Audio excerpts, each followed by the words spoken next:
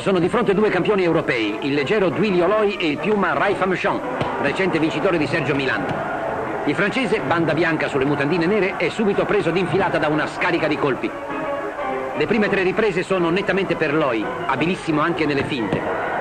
Così è riuscito a brillare nella tournée australiana e a vincere anche negli Stati Uniti.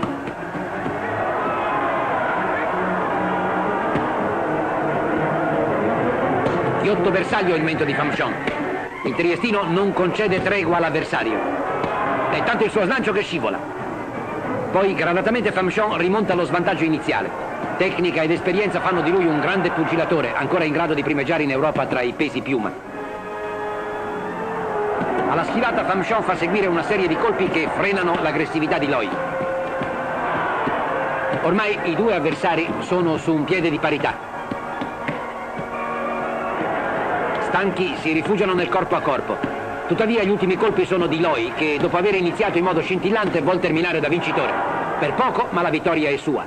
Una cordiale stretta di mano suggella l'incontro fra due grandi campioni, i migliori d'Europa nelle rispettive categorie.